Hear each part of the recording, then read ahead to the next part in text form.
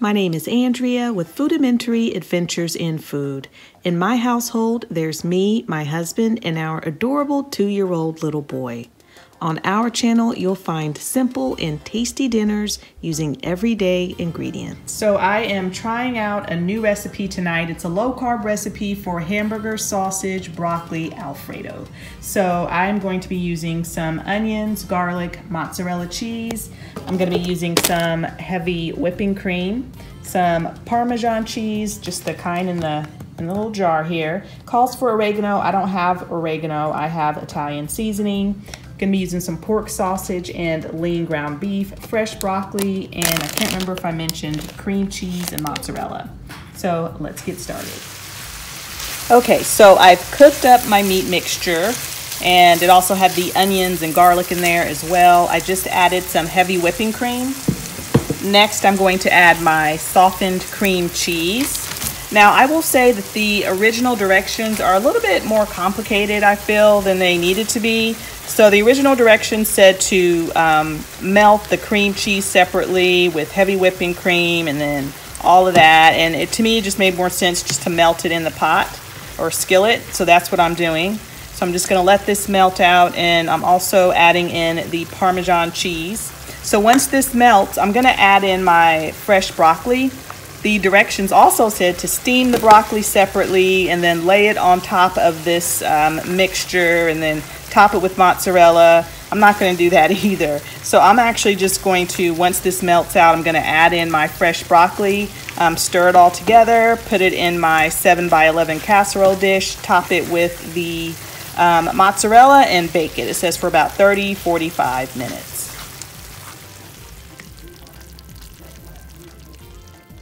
Okay, so here's the casserole. I ended up baking this for about half an hour, and as you can see that uh, cheese got nice and brown. So you might wanna watch it. Even though it says 35 to 45 minutes, I think that was kind of too long.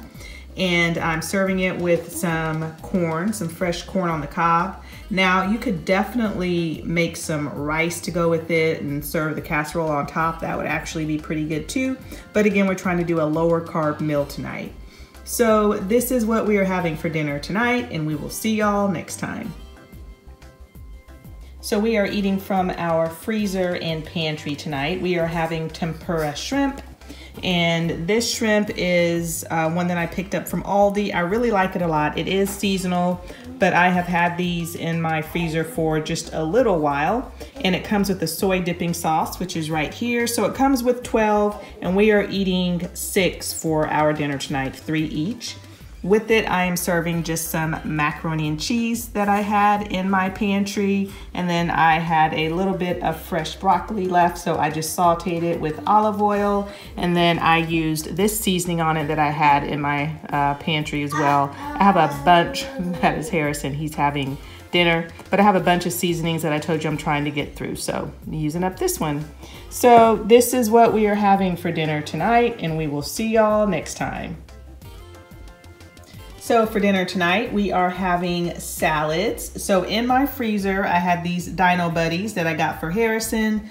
My two-year-old, he does not like these. So I decided to pop them in the air fryer and then I chop them up and we are having chicken salads for dinner tonight.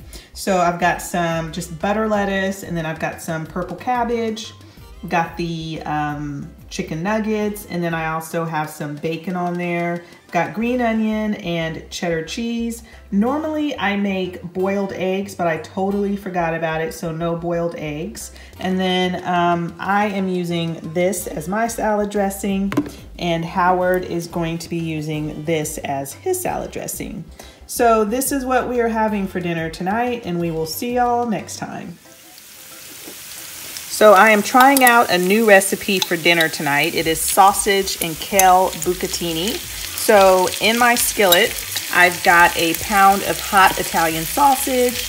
To that, um, I added in some garlic and I'm getting ready to add in my kale. And I'm just gonna let that kale wilt down a little bit. Okay, so the kale has wilted quite a bit Next, I'm going to add some olive oil. It doesn't, the recipe doesn't call for garlic infused, but that's what I have and that's what I'm using. And I'll make sure, of course, to link the recipe in the description box. I'm not following it exactly, but I've added in some garlic um, olive oil. And now I'm gonna add in some onion powder,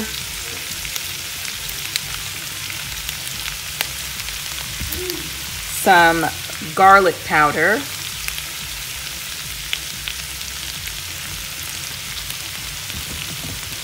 and a little bit of onion salt.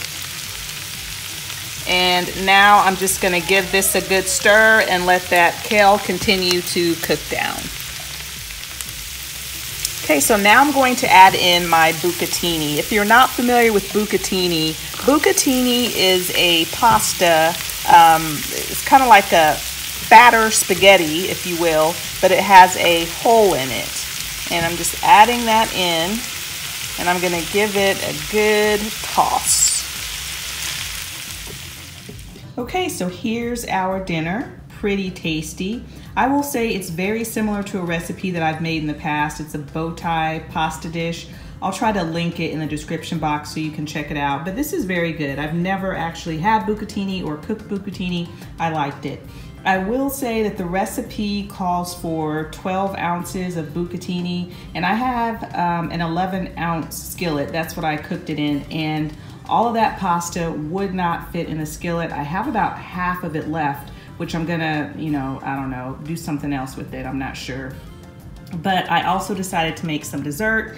In my pantry, I had this funfetti cupcake mix and it makes 12 cupcakes and I decided to make just six jumbo cupcakes instead. So half with sprinkles, half without. Howard's not into sprinkles. So um, I just uh, wanted to use it up. It's been in my pantry for a little while.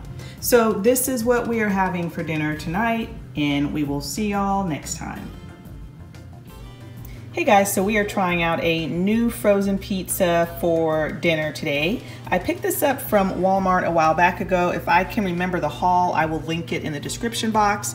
But um, this is called Barstool Sports One Bite. Everybody knows the rules pizza. Supreme, it says stone baked crust in it has sausage, pepperoni, red and green bell peppers, red onion, product of Canada. So you're supposed to bake it directly on the oven rack at 450 degrees. So I wanted to show you all what it looks like before I put it in the oven. So plenty of toppings on there, lots of veggies. So I'll show you the end result. Okay, so here's the pizza. I did have to bake this longer than the 13 minutes that it recommended, probably about four more minutes. Howard and I tried it, and we think it's just okay. Nothing special. Um, it wasn't worth the extra money that I paid for this pizza. To me, it doesn't taste any different than like a DiGiorno or Red Baron or something like that. Um, would I buy it again? Probably not. I don't think it's worth the extra money. But anyway, this is what we are having for dinner tonight, and we will see y'all next time.